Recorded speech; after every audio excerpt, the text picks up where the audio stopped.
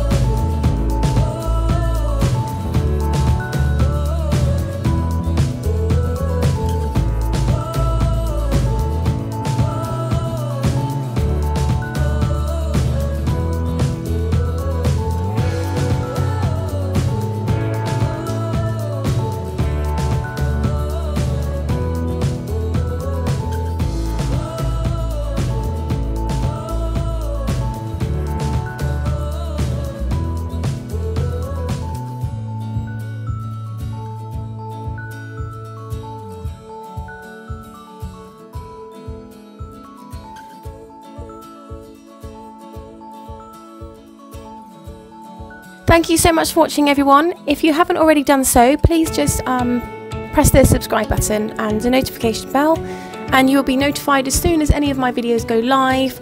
I tend to run them overnight so they go live in the morning and I tend to do all my editing just before I start my diamond painting. So, um, you know, I've got quite a few videos going up at the same time. So, if you're already subscribed, then you'll get a notification as soon as they've gone up. Um, but thanks very much for watching, and I'll see you again soon. Bye.